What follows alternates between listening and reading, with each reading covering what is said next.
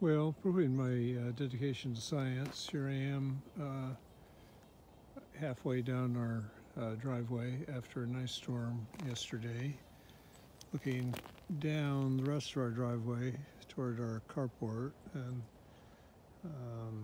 because um, I'm not kind of clueless about turning, uh, don't want to make uh, a movie out of a couple of clips, I'll turn the camera around and see if it will perhaps capture me, the uh, mad freezing rain scientist, about to conduct an experiment with three ordinary objects and seeing if our driveway is safe to travel on, which, since I just had to go and find my uh, special um, uh, spiky uh, things that goes on the bottom of shoes in order to even get up where I am now.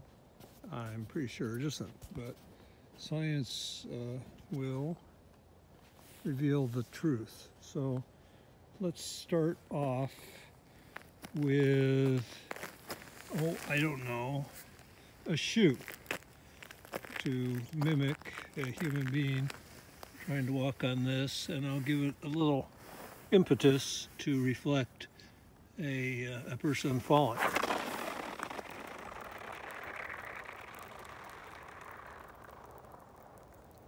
Okay, I'm more than halfway down.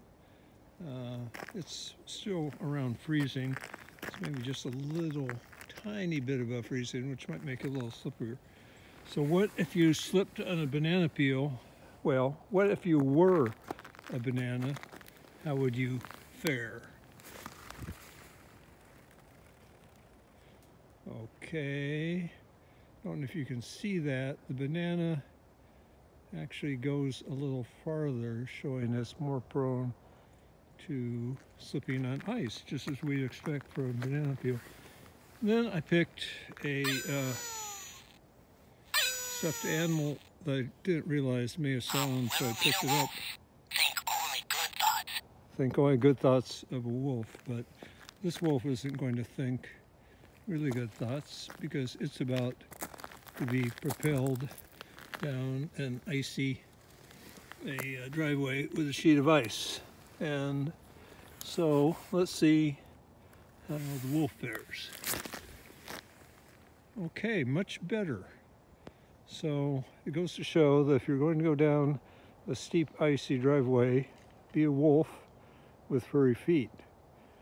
Of course, this now leads me to the problem of how I'm going to get these uh, items, but uh, I'll figure that out uh, later.